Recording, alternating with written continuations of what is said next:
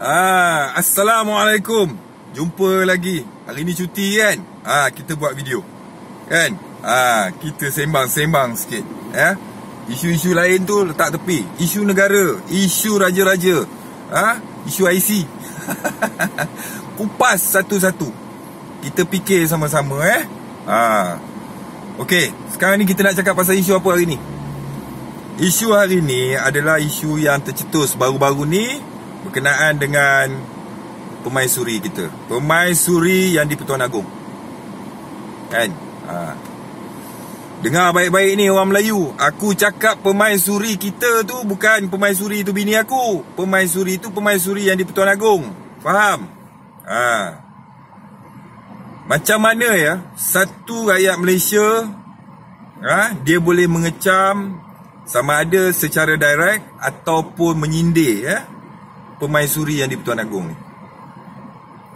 Kau cuba fikir mentaliti dia, cara dia berfikir, ha, jiwa dia kosong habis semua sekali. Otak tak jalan, jiwa kosong. Nampak tak? Ah, ha, itulah bangsa kita. Kan? Kalau dah institusi raja tu asyik dok kena hina, aku dengar tahun ni saja berapa banyak institusi raja punya kes orang dok menghina raja-raja ni. Hina agung. Ini kali kedua aku dengar tau. Itu hari yang di Pertuan Agong kena. Kali ni Pemaisuri pula kena. Ya? Jadi aku memberi cadangan lah ya. Cadangan saya ya. Ha? Sama ada uh, perlu atau tidak korang fikirlah sendiri. Ni kerajaan-kerajaan pemerintah-pemerintah yang duduk dalam pentadbiran ni. Ya? Kalau tak boleh kekang isu-isu berkaitan dengan penghinaan terhadap institusi raja yang di Pertuan Agong, Pemaisuri, istana-istana ni semua, kembalikan kuasa-kuasa mutlak raja tu. Ya? Sebab di zaman-zaman mereka memegang kuasa-kuasa mutlak, tak ada siapa berani mengeji raja-raja ni. Tapi hari ni, ha, sampai pemaisuri yang di Pertuan Agong, korang boleh buat macam tu. Ya? Saya mengecam sekeras-kerasnya tindakan-tindakan biadab terhadap institusi raja ni. Memanglah nama aku jebat derhaka. Tapi jebat derhaka tu jebat derhaka yang dulu, yang lawan sultan tu. Jebat derhaka sekarang, dia tak lawan sultan. Dia tak lawan raja. Ah, ha, dia lawan pengkhianat-pengkhianat negara yang main politik berlebih-lebihan ni. Faham tak?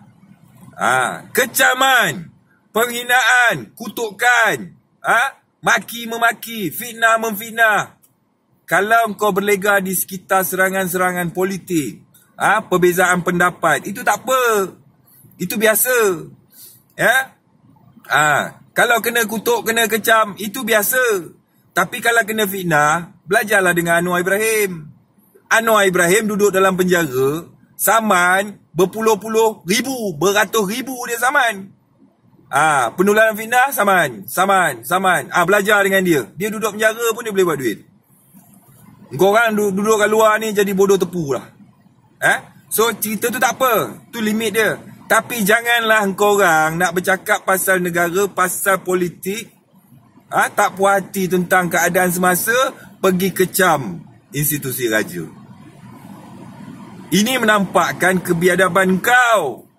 Ah, jadi minta mohon kerajaan, ah ha, pihak ha, penguat kuasa, jabatan-jabatan ni semua cuba pergi cek balik orang-orang yang mengecam pemaisuri yang di Pertuan Agong baru ni, pergi cek balik IC dia beli ke apa tu? Kan? Ha, aku takut dia ni sebenarnya bukan rakyat Malaysia IC beli sebab tu dia tak tahu. Sebab tu dia tak tak tak ada jiwa patriotik terhadap negara dia. Ha? Cuba cek balik. Ha.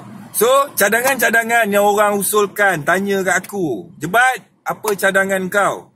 Ha? Tentang isu-isu penghinaan terhadap institusi raja. Ha? Hukuman apa yang setimpal untuk mereka? Ya? Ha? Pertama, kalau tak boleh kekang, langkah-langkah rasional, positif, ha? berlemah lembut dia adalah kembalikan kuasa-kuasa mutlak raja-raja. Kalau tak boleh jaga institusi raja ni.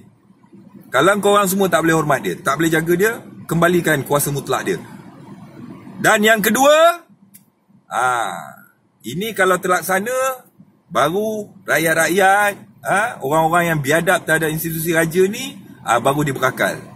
Ya, hukuman untuk orang yang menghina institusi raja ni adalah tembak belakang kepala dia di depan anak bini dan keluarga dia. Tembak belakang kepala dia. Ah, baru dia jadi pengajaran kepada orang lain. Eh? Biadab habis lah tu. Kalau dah pergi sampai hina institusi raja, itu biadab habis lah tu. Sebab selepas raja tu dah tak ada lagi dah. Tahu? Ah, dalam peradaban Melayu, raja tu dah duduk atas. Institusi raja tu yang teratas. Tahu? Ah. Fikir-fikirkan, renung-renungkan, ya. Sakit hati tau. Ha, sebab apa? Nak main politik, nak main apa pun kat sini. Ha? Nak kata mengata kutuk-ngutuk tu tak apalah. Itu biasalah tu. Kan? Ha. Tapi janganlah sampai pergi menyentuh institusi raja. Ha. Itu pasal lah Sultan Johor tu. Ha? Dia duduk naik angin dia. Pasal apa dia tak naik angin? Korang dulu propose tarik kuasa-kuasa raja. Kan? Ha, lepas tu hari ni institusi raja kena hina, korang tak boleh buat apa. Tangkap hukum dia depan rakyat. Baru nama dia institusi raja tu Raja Berdaulat. Faham? Fikir. Sekian. Wassalam.